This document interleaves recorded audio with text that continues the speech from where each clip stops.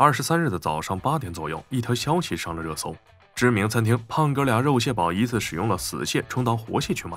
该公司的官网之上，食材新鲜被列为第一卖点。二零二零年底，这家公司已经入驻了全国一百三十多个城市，拥有门店四百余家。我们的食材都是当天加工，保证了食物新鲜和口感。这是店员们经常挂在嘴边的一句话。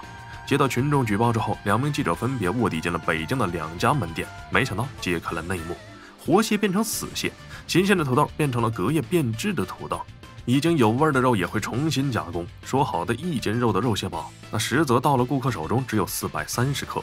种种迹象让广大的网友无不对这家餐厅感到失望。从记录显示，记者是在六月份进入门店卧底，报道出来已经八月。卧底数月之后得到了结果，令人瞠目结舌。网友都在等商家的回复。当记者电联之时，店里是否使用了过期食品呢？某位负责人则是回答：“没有这个现象，我们愿意接受调查。事实就是事实，我们承不承认都要你们亲眼看到。”据悉，北京的有关部门已经到门店检查，涉事的门店停业整顿，成立专案组内部自查，总部也开始着手调查。这是一方地震，多方受牵连。杭州市场监管局发文表示，对近日曝光的问题进行处理，约谈了杭州门店的负责人，要求企业立即进行整改。成都方面则是突击进行检查，发现问题需要立即的整改。苏州则是也进行全面排查，全市十一家门店一个一个查。通报表示，排查结果良好，并没有出现媒体曝光的问题。在胖哥俩肉蟹堡通告出来的五个小时后，市场监管总局一下公开六起食品违法案查处情况，来看看有没有你常去的店。二十三日下午的一点左右，市场监管总局公开六起食品安全案查处情况，其中包含了耳熟能详的小龙坎、蜜雪冰城、华莱士、杨国福、奈雪的茶、大润发。小龙坎火锅主要集中在使用了假冒的鲜鸭血，蜜雪冰城使用了过期的食品原料，华莱士炸鸡掉地上捡起来继续使用，杨国福所使用的汤料不干净，奈雪的茶使用腐烂水果，大润发发臭的肉洗了再卖。突然有点不知道该说什么。食品安全的问题每年都说，每年对于一些企业来说似乎都是白说。检查了罚款，关店整改，随后卷土重来再开，似乎就是一个死循环。这其中几乎不敢细想。以上我们说的都是知名度比较高的品牌，口碑什么的属于比较好的，但食品安全的问题一个比一个严重。那其他的小品牌呢？不敢想，不敢想。二十四日的深夜凌晨，奈雪的茶率先发文道歉，表示会接受处罚，深感痛心，向广大的消费者致以最诚挚的道歉。随后也有网友发问：道歉有用吗？这种情况也不是第一次了。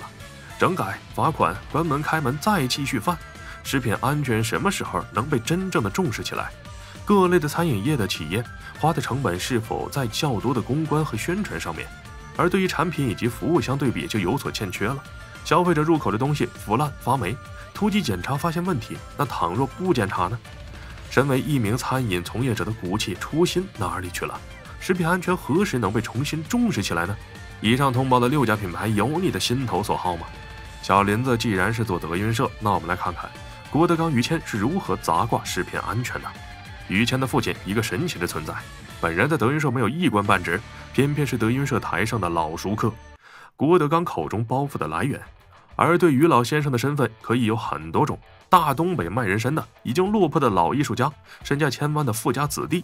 郭德纲利用于谦父亲的多种身份，在食品安全上有很多精彩的演绎。老头出来要先喝一点猪奶，越说越不像话。怎么喝牛奶、喝羊奶，没有喝猪奶的？说于谦的爸爸现在不喝牛奶了，每天早上起来非要喝猪奶，可没听说喝猪奶的。为何说牛奶呢？因为喝了出问题了。什么问题？牛昏过去了，这里就反映了一个真假奶的问题。牧场就那么多牛，但每年生产出来的牛奶却远超过产量。来一杯人屎咖啡。嗯，你是嗨呀？你先等会儿，你这这，那就记住了啊。哎，那叫猫屎咖啡。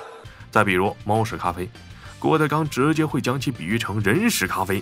好家伙，可没见过人屎咖啡的。于谦又说，因为产量高啊。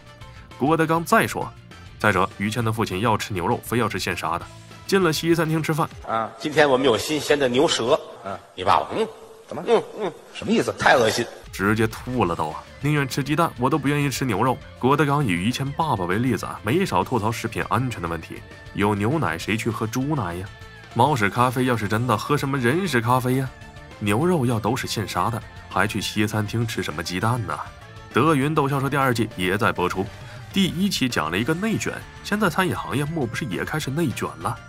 别人都在投机取巧的搞些小聪明，用鲜榨果汁多贵呀，不如用勾兑出来的。隔夜的也不太坏，为什么要扔掉用新鲜的？土豆不就是发黑了也没烂掉？为什么我们要早起跑市场买土豆呢？何必呢？何必呢？如果是这种内卷的话，大可不必。